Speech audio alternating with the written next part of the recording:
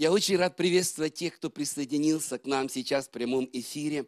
Дорогие друзья, я хочу вместе с вами сегодня порассуждать на одну из важнейших тем, которые есть в Священном Писании, но, к сожалению, не так часто люди вообще к ней подходят, а сейчас, в последнее время, как будто бы шквал, огромное количество различных сообщений на эту тему. Это тема о последнем времени. Я назвал эту проповедь «Как не пропустить апокалипсис». И текст из Священного Писания, который хочу э, предложить вам, записан в книге притч в 24 главе в 5 стихе. Здесь премудрый Соломон говорит такие слова. «Человек мудрый силен, и человек разумный укрепляет силу свою». Дважды написано о силе, и э, есть характеристика такого человека, у которого есть эта сила. И здесь написано «он мудрый, и он разумный». Мудрый имеет силу, а разумный, то есть он рассуждает, рассуждающий, он укрепляет силу свою. И я хотел бы, чтобы в это время мы с вами были теми людьми, которые были бы мудрыми и были бы разумными, имели бы силу и укрепляли эту силу. Я не знаю, что думаете вы о ситуации на сегодняшний день с коронавирусом, но э, по всей информации, которую мы имеем, доступной нам, этот э, вирус э, все-таки идет на спад. Количество зараженных идет на спад. У меня внутри есть чувствование, что постепенно-постепенно э, эта проблема сойдет на нет. На сегодняшний день открываются некоторые европейские страны, Э, наша страна еще продолжает жить в таком же режиме, как и раньше, и будет постепенный выход из этого режима самоизоляции. Но я хочу сказать, что некоторые из нас уже отключили эту тему, мы уже побежали дальше, мы уже ставим или строим новые планы, цели, и для нас уже эта тема, это прошедшая тема. Немного приостановились, чуть-чуть испугались, ну, все нормально, и побежали дальше. Вы знаете, друзья, я хочу сказать, что Дух Божий, на мой взгляд, продолжает стучать в сердце своей церкви. Он продолжает стучать в наши сердца, в дверь, которая, которая внутри нас, в наше мышление, потому что, судя по тому, что говорит Иисус, что сказал Иисус, то данный вирус или данная проблема – это начало – начало целого периода и сезона, когда бедствия, трудности будут снова возвращаться. И, скорее всего, вторая волна, которая придет, она придет намного болезненнее и серьезнее. И вот еще раз к этому тексту я хочу повернуть ваше внимание. Человек мудрый силен, и человек разумный укрепляет силу свою. Хочу обратить ваше внимание на слово «укрепляет». Я думаю, что это время, когда мы с вами должны быть разумными и укреплять свою силу. Конечно, у нас нет нашей силы, но мы можем понимать то время, в которое мы живем, понимать ситуацию, обращаться к Богу, и Он будет давать нам и разумение, и мудрость, и свою божественную поддержку и силу. Друзья, хочу вам показать две крайности в этой проповеди, и хочу э, показать тот путь, которым, я верю, мы должны идти в теме последних времен. Вы знаете, обращаясь к своим со- современникам, Иисус называл их лицемерами, говоря, различать лицо неба вы умеете, а знамений времен не можете. Прошли тысячелетия, но по сути ситуация сегодня точно такая же. Мы по-прежнему, то, что написано в Библии, отцеживаем комара, но старательно закрываем глаза на знамение времен. Пандемия, охватившая планету, заставила людей проявлять свое истинное состояние. И если раньше многие откладывали на потом вот эти размышления о действительности, а, э, вот э, то, что сказано в книге Откровения, э, может быть, это то время, когда это исполняется, то сегодня именно тот момент, когда они задумываются, и в это время задают вопросы о действительности, что важно сейчас, что является ключевым для меня в моей жизни. Друзья, хочу сказать, что одна э, группа христиан, она пренебрегает всячески тем, что вообще стоит каким-либо образом останавливаться, беспокоиться об этом. Она просто игнорирует всякую тревогу, говоря о том, что это излишнее вообще. Это, ну, это было в истории пандемии, эпидемии. Точно так и в наши дни произошло. Другая э, группа христиан, они э, слушают так много конспирологических теорий, теорий заговора, о том, что есть иллюминаты, масоны, э, Джордж Сорос, Билл Гейтс, число зверя, 666. Вот-вот сейчас нас вакцинируют, а в этой вакцине будет чип. Мы не должны этому, мы не должны этому поддаться. Я могу даже не заметить. Знаете, где-то вот так вот идешь, идешь, тебя температуру померили, а это, оказывается, лазером тебе нанесли штрих и штрих-код на лоб твой, и все, то есть лучше не выходить.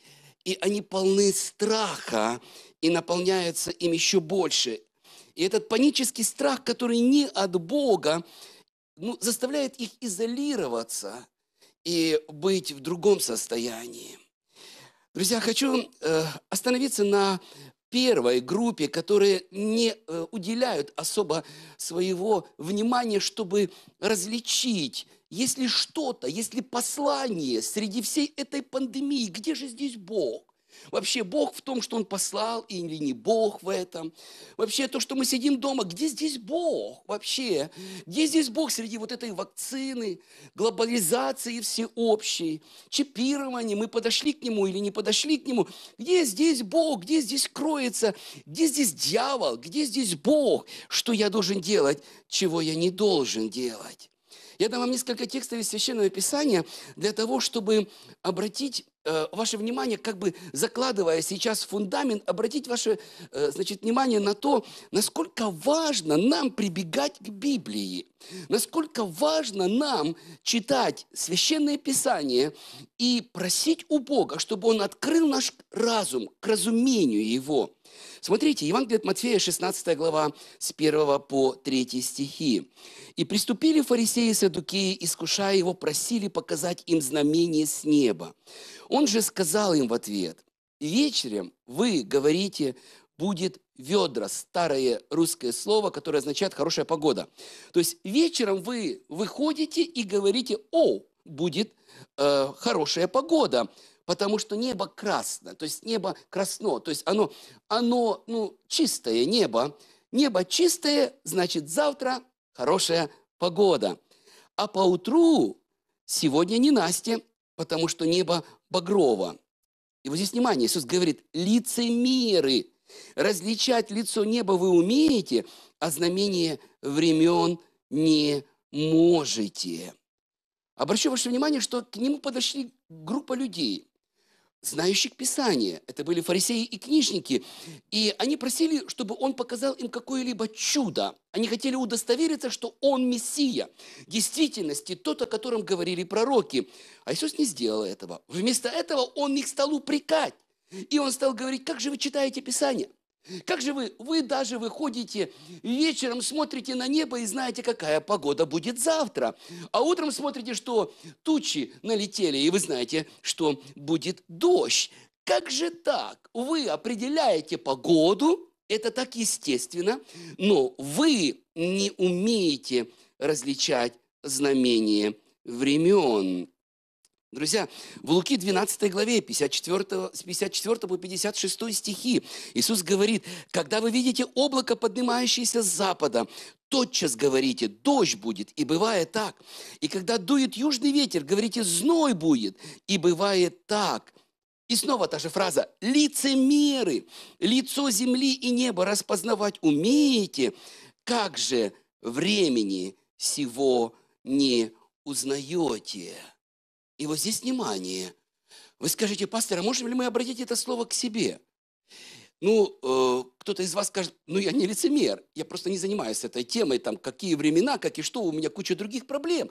И я просто живу, исполняя свои обязанности, которые есть у меня. Но, живя, исполняя свои обязанности, мы можем пропустить одну из, воз... из важнейших тем в Библии, которая непосредственно имеет отношение к твоей и моей жизни. Поэтому Иисус говорит, наблюдайте за временами, наблюдайте за пророчествами. Понять время, в которое мы живем, очень важно. Это точно так же, как понять погоду, которая на улице. У вас было такое, когда вы, вы, вы выходили солнышко, ясное, особенно когда я жил в Прибалтике, я каждый раз должен был, э, выходя из дома, не забыть взять зонтик. Потому что, при том, что ясная погода, вдруг в течение одного часа все резко меняется, и после обеда обычно дождь. И чуть ли не каждый день летом дождь, дождь. То есть так все быстро меняется. Друзья, если серьезно говорить об этом, то вот как гром среди ясного неба, как дождь среди солнечной погоды, так некоторых из нас застает эта мысль о том, что, ребята, мы, оказывается, живем в последние времена. Ребята, оказывается, я, я не в первом веке живу, и не тогда, когда Иисус был первый раз. Я, оказывается, живу в тот сезон времени, когда Иисус еще раз вернется. Перед тем, как Иисус первый раз пришел, были э, от Бога посланы задания Иоанну Крестителю. Это задание было, чтобы приготовить путь для, для Иисуса. Сейчас, перед Его вторым пришествием, может ли быть так, что у Бога есть задание для своих детей, чтобы мы приготовили путь? Вы скажете, пастор, ты куда-то нас уводишь? Подождите, но это э, то, что сказано в Библии. Иисус упрекает знающих закон, что они не могут отличить времена и знамения времен. Друзья, я хочу сказать, что есть еще и определенные сезоны. Есть времена, а есть еще и сезоны. Например, есть весна, лето, осень, зима. Весной мы все знаем, что нужно садить. И если ты не посадил весной, то приходишь осенью на свое поле, а там собирать-то нечего. Ты скажешь, я сейчас наверстаю, я быстро все посажу. Не посадишь. А если и посадишь, то ты не вырастешь. Сезон сменился. Друзья, сезоны в нашей жизни меняются. Не забуду никогда, как мой духовный отец однажды сказал мне, я не осознавал, насколько Бог своей суверенной власти может быстро менять сезоны жизни. Он жил в одной стране, был пастырем церкви, и Бог пришел к нему и сказал ему, приедь в Россию, в Сибирь. У меня есть дело для тебя там, и я даю тебе задание там. Он передал церковь другому человеку, продал свой дом, продал все имущество, сложил все в несколько контейнеров и приехал сюда, в Сибирь, прямо с солнечной Флориды прямо в Сибирь. И здесь он купил квартиру, взял автомобиль, который привез в контейнере. Э, все вот эти трансформаторы из, из 110 на 220 или 220 на 110. Он не знал, как здесь люди живут, но, но где-то вычитал, что здесь 220 вольт. То есть он, он думал, что он будет жить здесь до конца дней жизни. Взял свою жену. И в какой-то момент Господь взял и поменял его сезон – сказал, ты выполнил, возвращайся, есть еще одно задание. И он сказал мне, знаешь, Бог вправе менять очень быстро сезон в твоей жизни и в жизни каждого из нас. Друзья, я хочу сказать об одном моменте, который в Писании таким ну, печальным выглядит. И он в действительности является таковым. И это урок для многих из нас. Помните, Иисус приближается к Иерусалиму, он спускается с Илионской горы, и он смотрит на храмовую гору, на это величественное сооружение, и останавливается в, в кругу учеников и произносит слова, которые записали ученики, и они дошли до наших дней. Он стоит, смотрит, Слезы выступают на его глазах, на город, который просто живет своей жизнью и говорит, о, Иерусалим, Иерусалим, ты хотя бы в этот день узнал, что служит к миру твоему. Но это сокрыто ныне от глаз твоих. И произносит пророчество, что будет очень скоро, что придут дни, когда враги твои обложат тебя окопами, окружать тебя, стеснять тебя отовсюду, разорят тебя, побьют детей твоих, не оставят тебе камня на камне. Зато, вот здесь внимание, что ты не узнал времени посещения твоего. Вот обратите ваше внимание на эту мысль. А за что? За что? Что я не так сделал? Я просто трудился, я жил обычной жизнью. А вот за то, что ты не узнал времени посещения твоего. Я хочу сказать, нам так важно знать знамения времен. Потому что и с нами что-то может произойти. Мы, просто игнорируя это, можем в действительности пропустить одно из важнейших событий, которые вот-вот может произойти. А к этому еще идут какие-то другие события, предшествуют. Мы просто можем не видеть это. Интересно, что, знаете, есть у Бога открытые двери. Я помню, когда я был еще подростком, однажды было пророческое слово ко мне. И это слово было такого плана. Я поставлю перед тобой открытую дверь. И когда ты увидишь возможность, иди. Я открыл перед тобой дверь. И я понимал тогда, что эта дверь будет открыта в какой-то определенный промежуток времени. Вы знаете, я потом увидел это в Библии. Помните, евреи идут в обетованную землю, они пришли в одно место, и идет 12 разведчиков для того, чтобы выведать землю там. Они возвращаются, 10 из них говорят, ой, там такие большие великаны, трехметровые люди живут, они там такие, мы перед ними как кузнечики. И они распространяют худую молву, и только двое из них, они говорили, нет, мы туда зайдем, мы овладеем, потому что Бог сказал, потому что Бог с нами, потому что Бог вывел нас.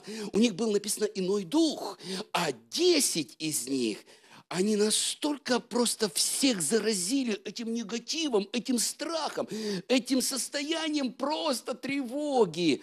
И Бог сказал, все, вы могли войти через две недели быть там, но теперь 40 лет будете путешествовать. 40 лет. Я закрываю эту дверь. Читайте, что было дальше. Некоторые из них сказали, да нет, мы пойдем, да как это? Да нет, да мы войдем, да вот здесь.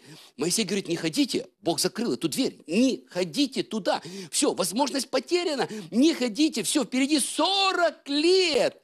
И только тогда, через 40 лет, Бог откроет еще раз дверь, возможность откроется.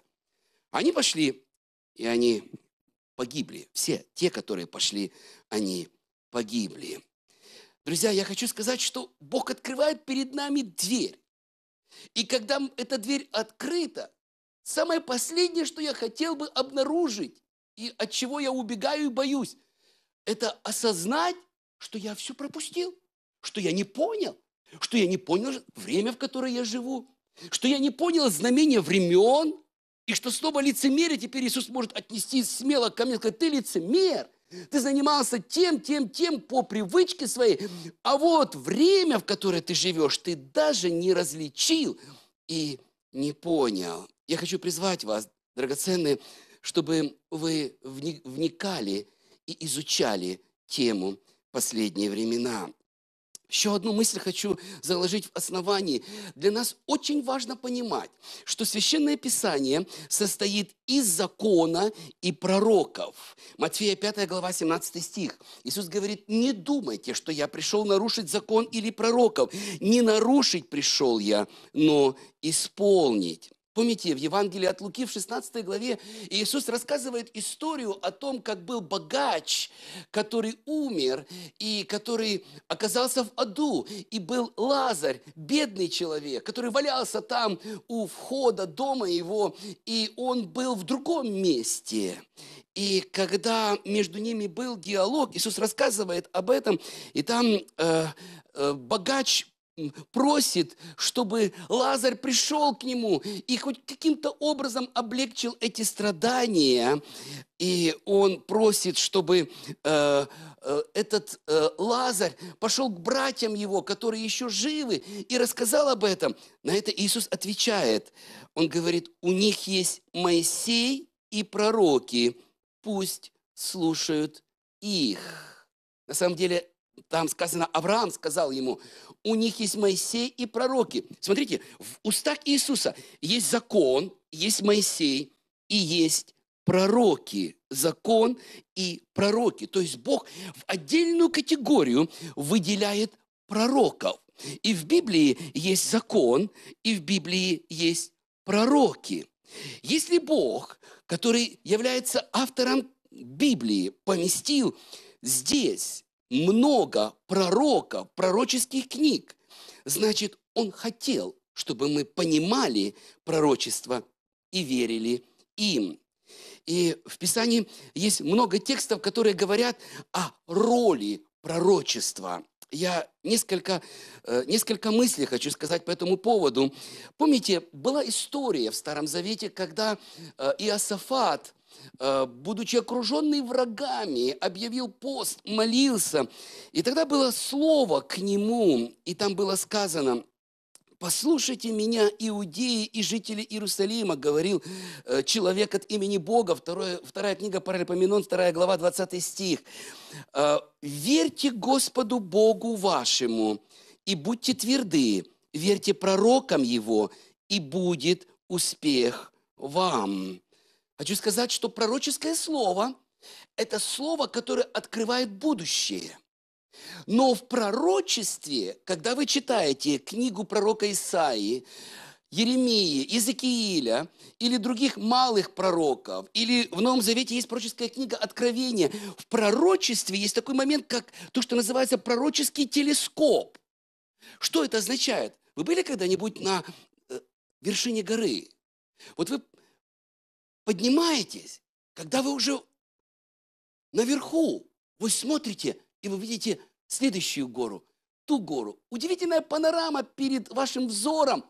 И вам кажется, как здорово, туда бы. Но мы не видим дорогу и путь с горы вниз. И насколько глубока бывает долина, и насколько она большая. Мы видим только вершины следующих гор. И не осознаем дистанцию между одной и другой и вершиной. Так часто было, что пророки, они смотрят как будто в телескоп, они видят какие-то события, они пишут о них, пишут даже через запятую, но при этом они даже не осознают, какой огромный промежуток времени может быть между одним событием и другим.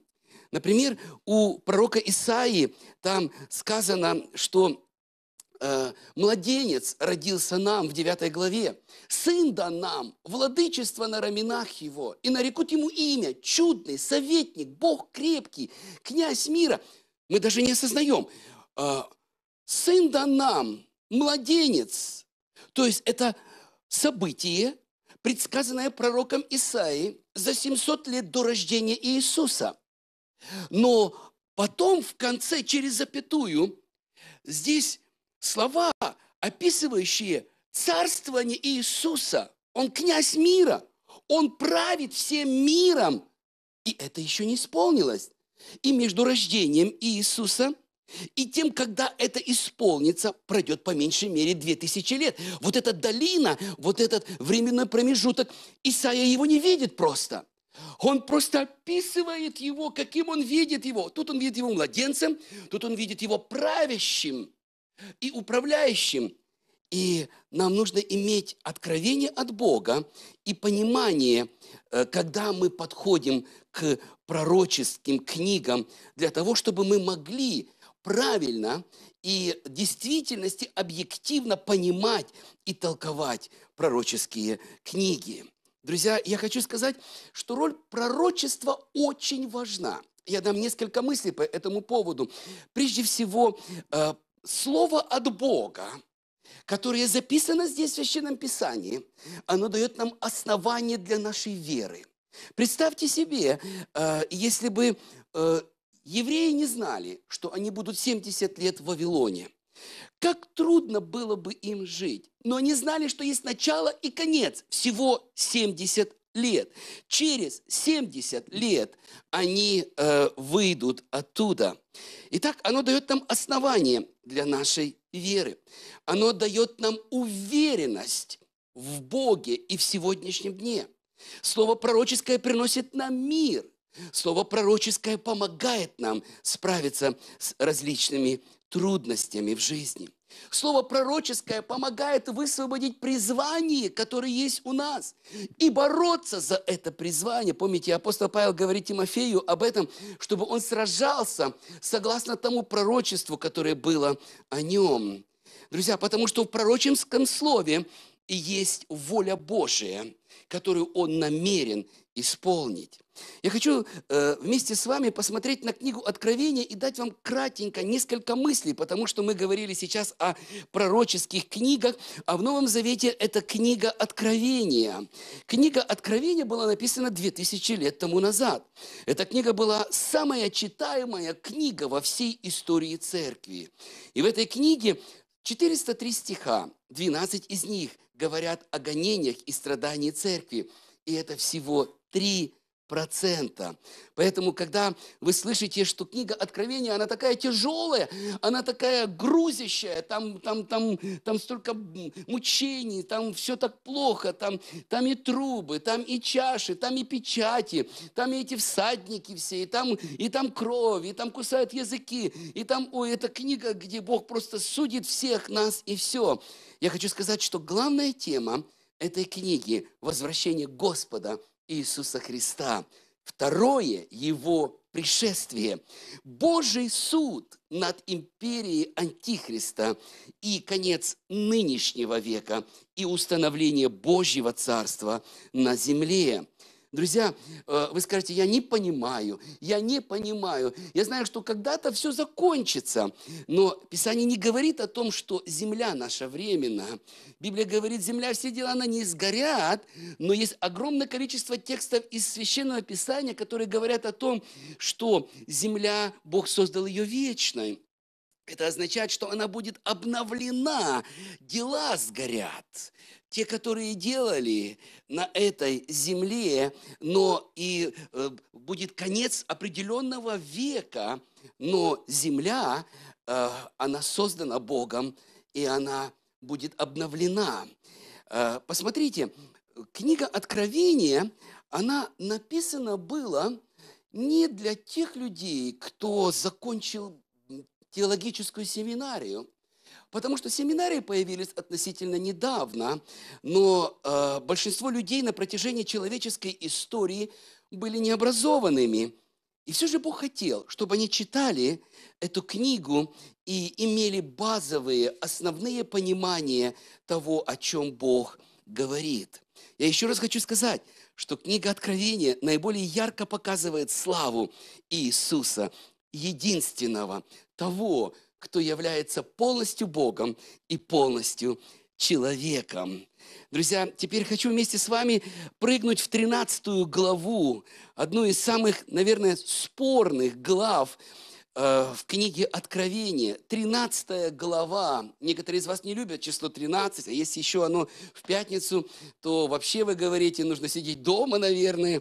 Некоторые, я помню, я с одним братом однажды был в э, ГАИ, и мы получали номера автомобильные, и он говорит, пастор, а если тебе номер попадет 666, что ты сделаешь? То есть мы не любим три шестерки, но я хочу вместе с вами прочесть чтобы показать то, что вижу я здесь, просто читая книгу Откровения. Я понимаю, что есть немало людей сегодня, которые слушают много информации и которые на самом деле уже внутри испуганы и боятся. Боятся потому, что, ну, на самом деле, вдруг мы даже не осознаем, как нам вот здесь вот где-то введут этот чип, или вдруг там я окажусь человеком, который, э, ну вот, буду иметь это начертание зверя. Друзья, не стоит переживать э, за то, за что не нужно переживать. И не стоит жить в, каком, в каком-то ожидании, какого-то страха. То есть не стоит охать, ахать. Потому что на самом деле, если вы внимательно читаете – то вы увидите здесь несколько моментов, которые я хочу, чтобы мы вместе с вами увидели.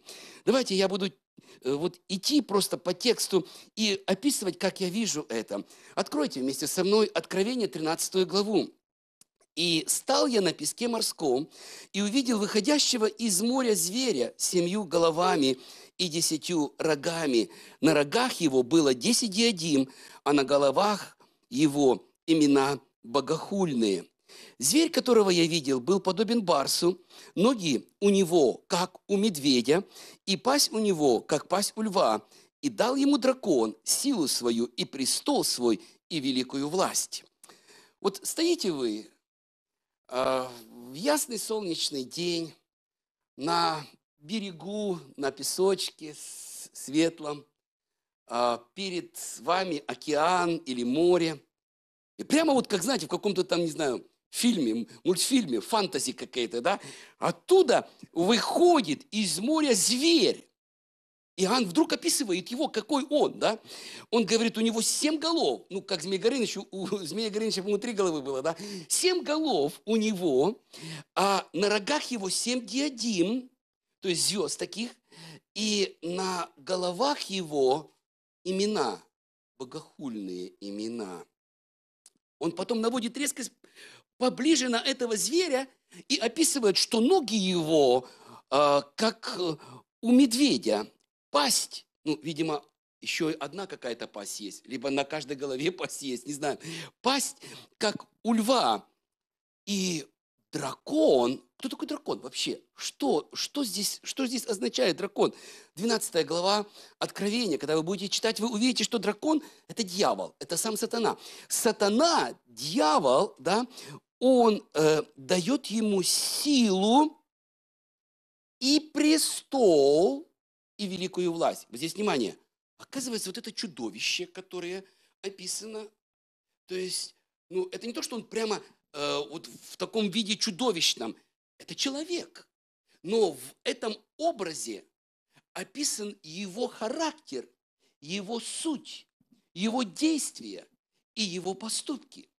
И это человек, человек, который будет против Иисуса. Отсюда слово антихрист. Антихрист будет человеком. И антихрист будет как бы брать внимание или стараться взять внимание у людей, повторяя или копируя Бога. Поэтому существует у Бога Бог Отец, Бог Сын, Бог Святой Дух. Существует у дьявола дьявол, дракон, потом зверь, который вышел из моря, который мы только что, только что и с вами увидели – и если будем ниже читать, то мы увидим, что еще один зверь здесь есть, который вышел из земли. И это э, лжепророк. Дьявол, антихрист и лжепророк. Бог Отец, Бог Сын, Бог Дух Святой, дьявол копирует это. И э, здесь э, мы видим, что у него есть власть, престол и великая власть. И видел я, что одна из голов его как бы смертельно была ранена, но эта смертельная рана исцелела то есть, другими словами, и э, сразу же после этого написано, и дивилась вся земля. Дивилась, то есть увидела и просто, ну, приняла это к сведению так, что ну, они просто изменились. И дивилась вся земля, следя за зверем, и поклонились дракону, который дал власть зверю. То есть вдруг этот антихрист, у него рана какая-то – Помните, у Иисуса тоже есть раны. И после этого мы читаем, впервые это слово появляется здесь, что и поклонились дракону, который дал власть зверю. Хочу сказать вам, что следующие э, тексты 13 главы, 14 главы и дальше вы насчитаете семь раз слово «поклонились».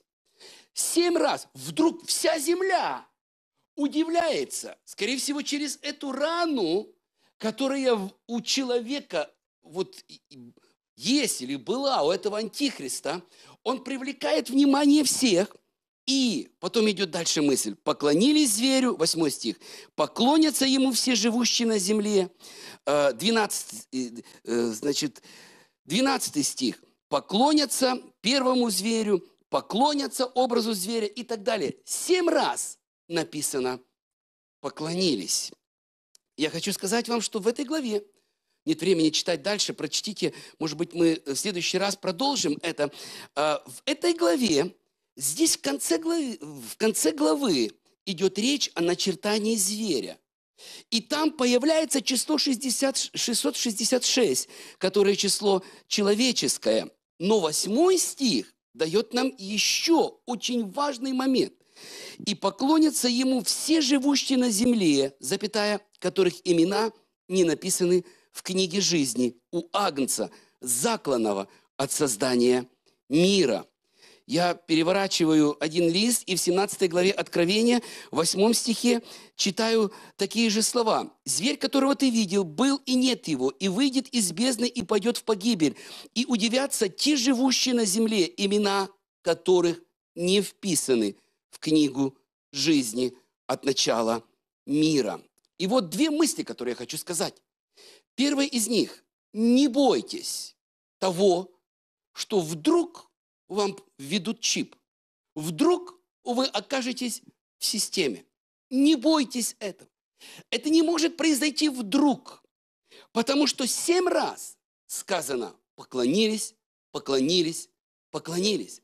Помните, как-то немного раньше, несколько месяцев тому назад, мы с вами э, рассматривали, что такое поклонение. Поклонение – это выраженная любовь.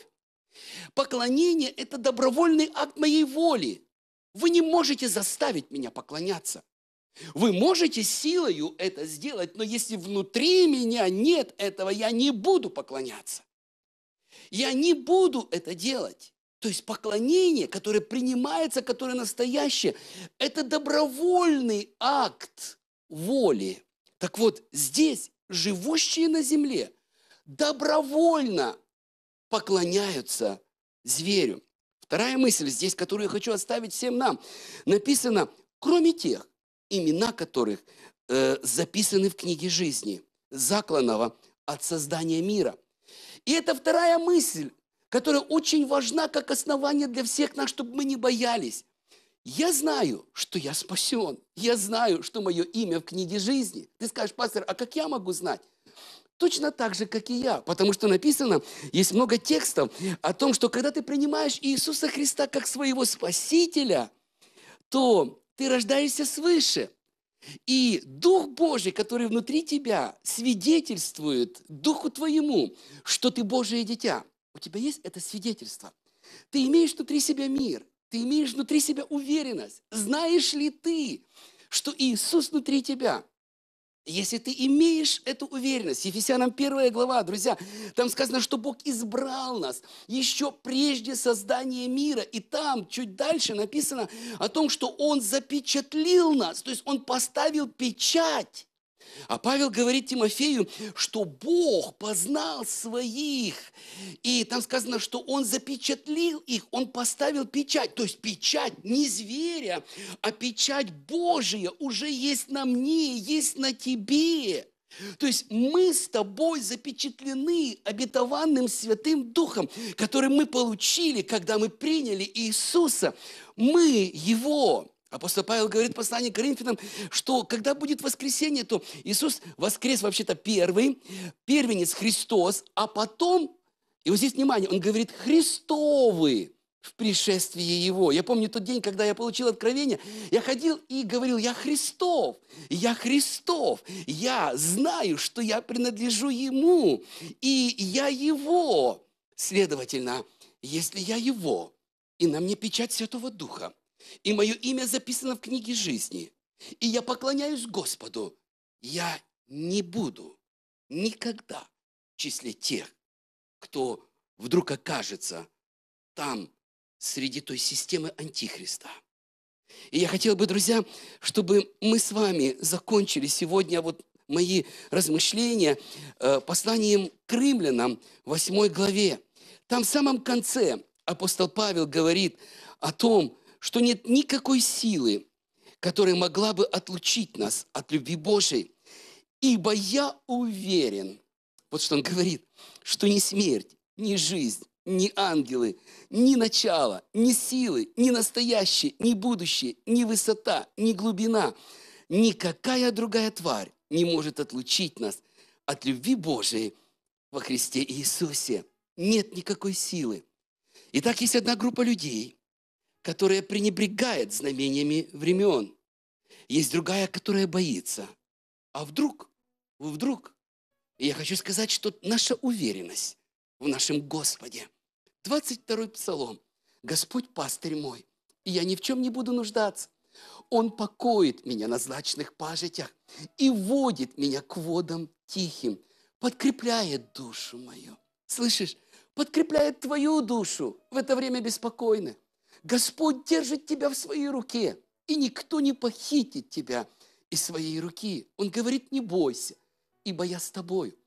И книга Откровения показывает триумф Господа нашего и суд над системой Антихриста.